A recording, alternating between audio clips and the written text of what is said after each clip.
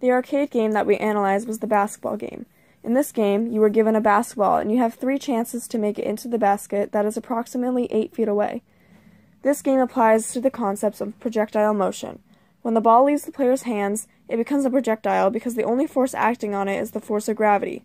A projectile has values for both horizontal and vertical motion, which are calculated independently.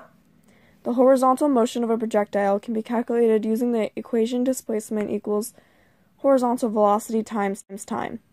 The horizontal distance the basketball traveled was 8 feet, which we obtained from the person running game.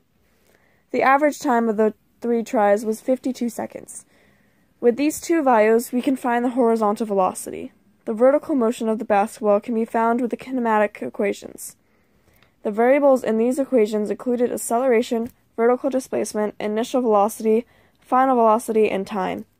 The acceleration is always equal to negative 9.80 meters per second squared because the only force acting on the ball is the force of gravity.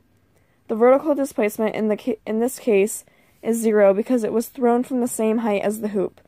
The initial and final velocity will have an x and y component that can be determined by plugging the values we have into the kinematic equations and will depend on the angle that the ball was thrown at.